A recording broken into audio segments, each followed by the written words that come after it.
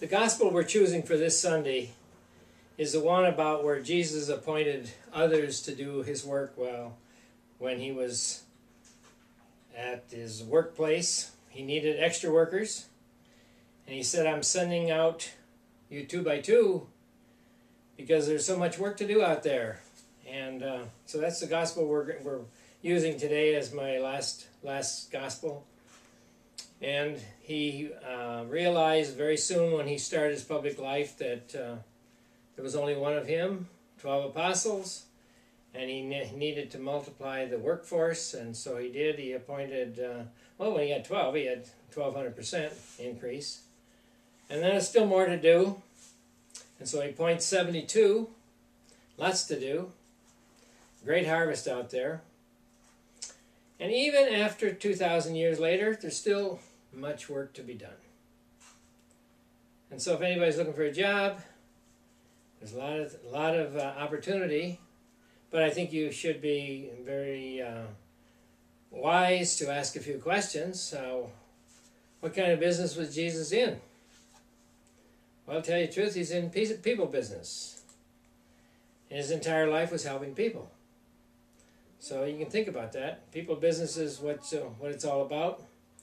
And some people think it's mostly mostly about religious stuff. That's not really so. We know that Jesus took care of the hungry. He healed the sick. He visited the lonely. He uh, took care of the, forgave the guilty, and uh, he kind of uh, confronted the proud and he helped the oppressed. So that's so the main business today then is still helping people. So if you want a job, that's one of the things you can look at. One question. Another question you might ask about working for Jesus is, uh, do I have to commute? Matter of fact, you don't. No commute needed. Right where you are, home, neighborhood, school, hospital, nursing home, shelters, all available. You don't have to commute. And so we need to, uh, but in doing all of that, we need to cultivate an awareness of where the problems are. So we can really be helpful in doing Jesus' work.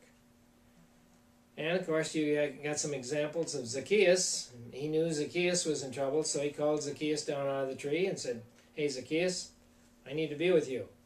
And then you notice the widow who put in two pennies and he made made people aware that that was a very very important thing because she she gave from her need, not from her her ex, her excess. He saw the cripple by the pool. He was there, but I said the scripture I think says like thirty some years. Nobody even noticed him anymore, except Jesus did when he came by. So being aware is very much a part of the people business. Aware of the needs that people have. And then another question you might ask let ask, what's the salary? Well, in dollars and cents, it's not really very much. Uh, necessities, yes. Jesus said you, uh, everybody's is able to and should receive necessities for their labor. And of course, the necessities is food, clothing, shelter. No problem. Think he, that's that's a that's a good part of the salary and a good part of the reward. But the best reward of all is the personal satisfaction and that's uh, that's how one gets the greatest reward. The rest are just necessities. So the finished product is people, and working with people is uh, is very uh, important. And the place is anywhere, and the salary is job satisfaction. And I think that's about uh, about as good as you can do in this kind of this day and age and the way, the way the economy is, but this is one job that's available. You can apply.